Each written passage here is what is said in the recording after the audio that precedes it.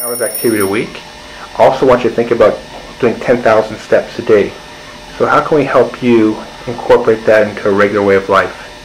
Oh, geez, well, give me the instrument to measure and uh, we'll set uh, the goal, 10,000. We'll, uh, we'll uh, look at uh, how I can, I can work that in, uh, in as, you know, most suitable, practical way. And then, then you've got to make that commitment uh, and go with it. You know, we can't really, uh, uh, well, we can do whatever we can to try to, to make sure, you know, I do that. the Walking.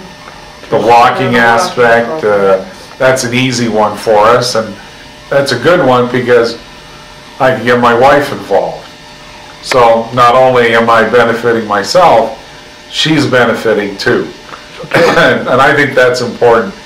Come out of surgery and has been given a second chance, then certainly it's good for my wife, my children, that they also follow uh, that same exercise program or one that